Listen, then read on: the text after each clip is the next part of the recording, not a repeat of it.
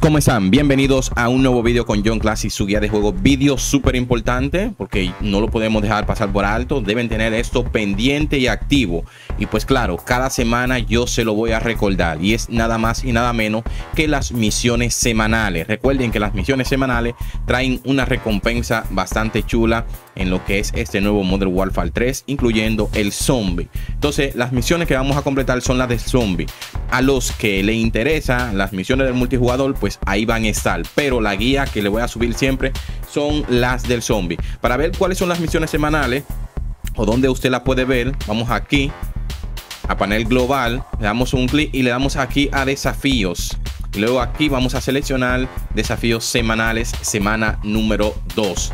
Damos un clic aquí y pasamos a la número 2. Ya la semana número 1, ya yo le subí todo al canal de cómo usted debe completarla o qué debe hacer. Semana número 2. O sea, la primera recompensa, obtenemos el key para fusiles, el Jack Nick Shade. Como pueden verlo aquí. Mírenlo acá. Es la opción de transformar lo que es un fusil de asalto en subfusil o un subfusil en fusil de asalto, una pistola en un subfusil y así sucesivamente. Esta opción la vemos en lo que son las armas, eh, los nuevos modelos que tenemos de Modern Warfare 3. Vamos a comenzar con los desafíos, que son 1, 2, 3, 4, 5, 6, 7 desafíos. En cada semana vamos a tener 7 desafíos para completar. El primer desafío dice completa 5 contratos. Como ya ustedes saben, como ya todos ustedes saben, los contratos en el zombie son los mismos contratos que en DMZ, que usted abre el minimapa, los contratos de teléfono, usted va, lo ubica y lo activa. Los contratos que siempre le voy a recomendar que hagan, que son los más fáciles, son los contratos de VIP.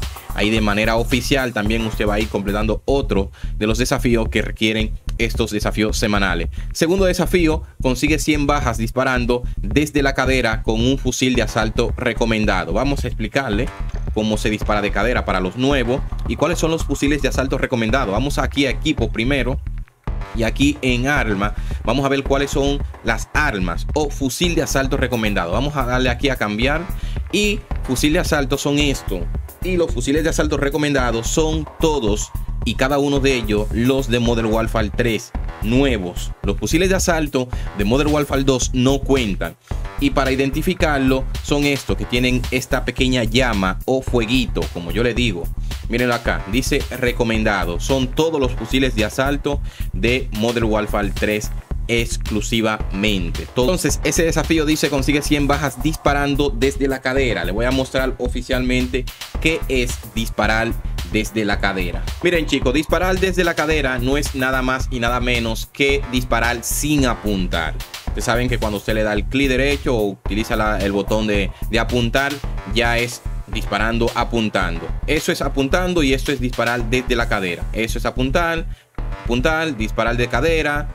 Eso es disparar de cadera. Debe matar 100 zombies disparando de cadera.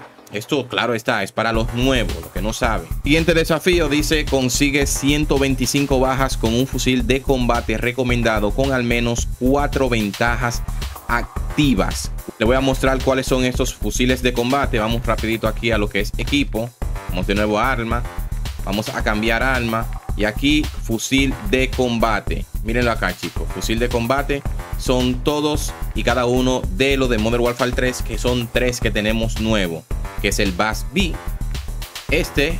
C de Winder y el MTZ-762. Estos son los tres fusiles de combate que son muy buenos, son automáticos. Usted se equipa cualquiera y se va a partida y luego se equipa lo que son cuatro ventajas. Entonces, chicos, el tema de las cuatro ventajas que tienen que tener aplicadas son cuatro ventajas que eh, pues apliquen para el arma y funcionen específicamente en el arma. ¿Y cuáles serían esas cuatro ventajas? Por ejemplo, una de las primeras ventajas que podemos aplicarle sería una mejora para mejorarla a lo que es el nivel de color verde. Saben que hay otra ventaja que mejora al color azul, por ejemplo, que son estas. Esa sería una de las ventajas. Segunda ventaja sería mejorarla al nivel 1, por lo menos del Pack a Punch, que estas son las cuestiones que mejoran, o en el juego ir a una tienda de Pack a Punch y mejorarla ya tendríamos dos eh, ventajas aplicadas en el arma. La primera que sería mejorar el arma en sí y luego mejorar lo que es a nivel de pack a punch. Ya serían dos ventajas. Tercera ventaja que usted podría aplicarle sería una modificación de municiones que podría ser cualquiera de estas. Que ayuda al efecto de eliminación, sea el efecto de congelación, de fuego, explosivo o eléctrico. Y la otra ventaja sería una ventaja de cola, como pueden verla aquí pero una que se aplique al arma en sí, que podría ser la de Daikiri, podría ser la de el refresco elemental o podría ser la de soda rápida, la, la que se utiliza para recargar rápida. Las demás ventajas no aplican para las armas, porque esta es de movimiento, esta es de revivir rápido, esta es la del Doctor Delfín, esta es para tener un poco más de vida, esta es la de percepción para ver todo a través de la pared. Entonces debe aplicar cuatro ventajas para el arma.